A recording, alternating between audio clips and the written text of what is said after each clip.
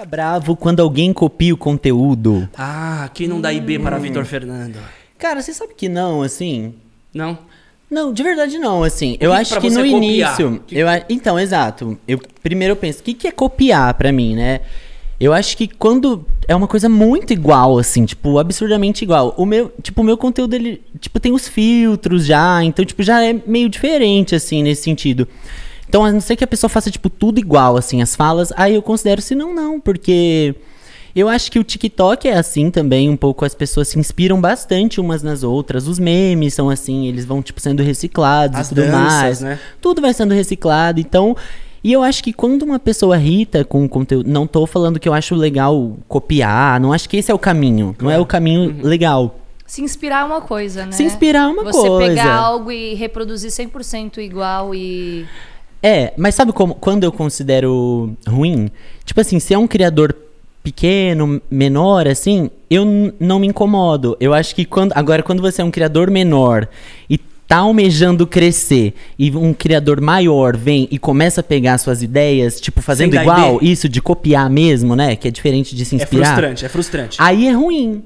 Agora eu acho que, tipo, como eu, eu tô crescendo nas redes e tudo mais, então se eu ver, eu não vou- a não ser que seja uma pessoa muito. Mas acho que não me incomodaria, assim, não, mesmo. Porque só se fosse muito igual, acho que ninguém faz, né? Mas quando você tava começando, teve alguém que, que copiou ali no início, aí você falou, opa, Teve. quando você era o menor, quando você era o menor. Teve.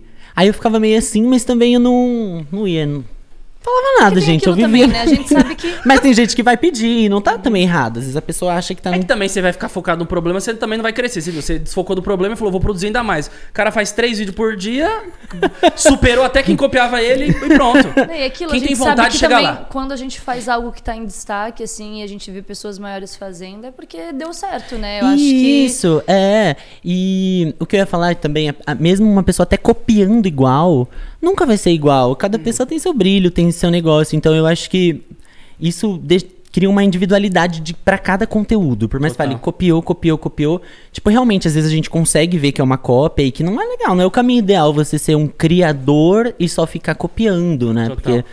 Mas eu acho que tem essas linhas. Não sei, não existe uma. Você sentiu que o TikTok ele trouxe muito também um lance de que tem ali as danças, as dublagens e tudo mais, e aí os fãs mesmo, os próprios consumidores, eles querem ver às vezes um famoso fazendo uma A trend. mesma. Tipo, ah, tem a trend que uma pessoa fez, mas a pessoa fala assim: "Ah, nossa, eu quero muito que a Maísa faça isso. E o TikTok possibilita isso sem você falar, ah, a Maísa foi lá e copiou. Ela vai lá, pega o áudio e faz. É. E aí o dela viraliza e quem criou não. Só que é muito louco isso É, é. né? O Instagram não tinha isso, o TikTok possibilitou isso, né? É. O criador do áudio, o criador do vídeo mais viral, Você às vezes tem- o dono do áudio não é o, que, o vídeo que bombou. Esse que é o lance. exa- Não, e às vezes você é a figura também. Isso, o dono do áudio não é o que bombou. Né? Às vezes o áudio do cara tem um milhão de áudios e o cara, puta, tem 100 mil seguidores. E o aí- vídeo é tipo um vídeo pequeno e alguém famoso, ou algu- uma pessoa que teve uma ideia engraçada também. Uhum. Aquele áudio mesmo do Matheus Borges, Borges, amigo do, do Rangel, pô, ele criou Levanta a mão, quem não lavou a louça. É dele. Ah, Aí eu, todo cara, mundo faz. Todo Aquele- mundo fez. é, Aí eu falei, foi o Matheus que criou. E, porra, eu tava vendo, sei lá, a Angélica fazendo, É tá aquele ligado? assim, é... Tan, tan, tan, levanta a mão quem,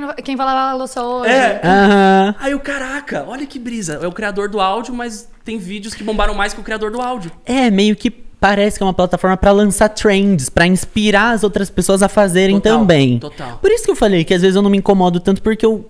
Como eu vim do TikTok, né, desde o no início, assim, de criação de conteúdo na internet, eu aprendi meio assim. Total. Tipo, meio eu vi dessa forma, do tipo, você tá criando um conteúdo ali para as pessoas se inspirarem, você sabe que as pessoas vão querer fazer, vão querer dublar o seu áudio, vão querer Total.